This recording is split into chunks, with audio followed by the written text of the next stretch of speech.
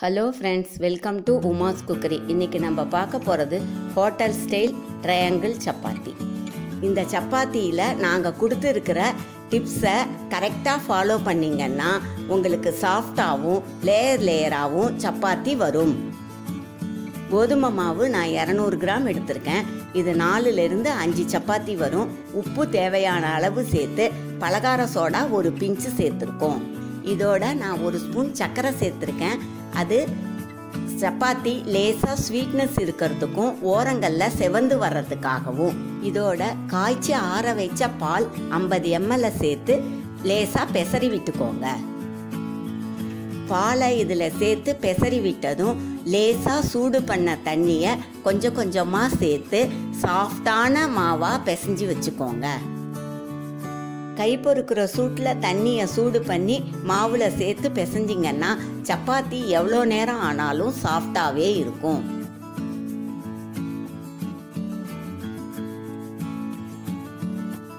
மாவை ஓரளவு பிசைஞ்சதும் ஒரு ஸ்பூன் எண்ணெய் விட்டு நல்லா பிசைஞ்சு வச்சுக்கோங்க.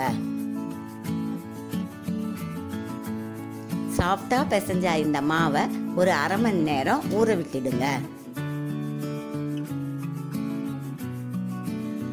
மாவு நல்லா ஊறின அப்புறம் தேவையான அளவு மாவை எடுத்து கையில் நல்லா உருட்டி அதை கையை அழுத்தி விட்டுக்கோங்க.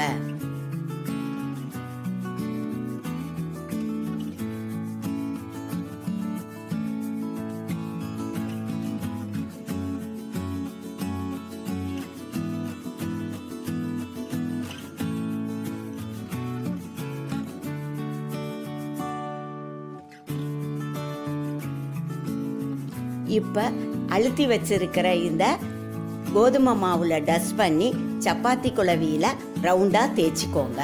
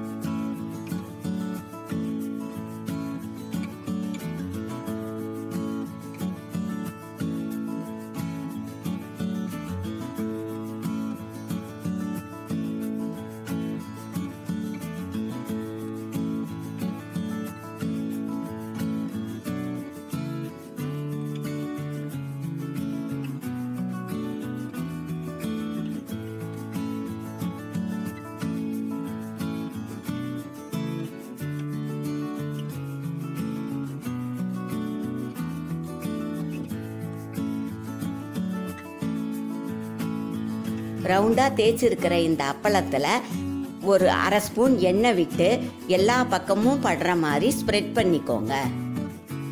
எண்ணெயை ஸ்ப்ரெட் பண்ணதுக்கப்புறம் அந்த அப்பளத்தை ரெண்டாக மடிச்சிட்டு அதை திருப்பி நாலாக மடிச்சிங்கன்னா முக்கோண ஷேப் வரும். இந்த முக்கோண ஷேப்பை மாவில் டச் பண்ணி குழவியில் மூணு பக்கமும் ஒரே மாதிரி இருக்கிற மாதிரி முக்கோண ஷேப் மாறாமல் தேய்ச்சி வச்சுக்கோங்க. நான் இதுக்கு உள்ள தேய்க்கிறதுக்கு எண்ணெய் தேய்ச்சிருக்கேன்.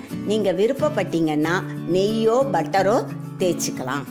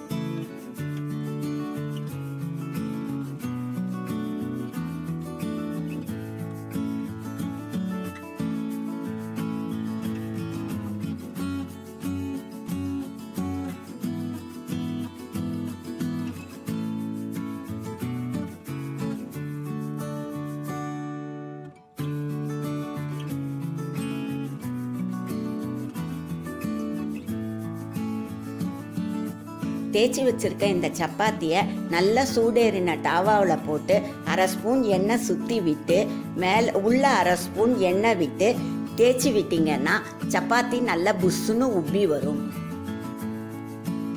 புஷ்ஷுன்னு உப்புன சப்பாத்தியை திருப்பி போட்டு ஒரு கால் ஸ்பூன் எண்ணெய் மேலே விட்டு தேய்ச்சி விட்டு எடுத்துக்கோங்க.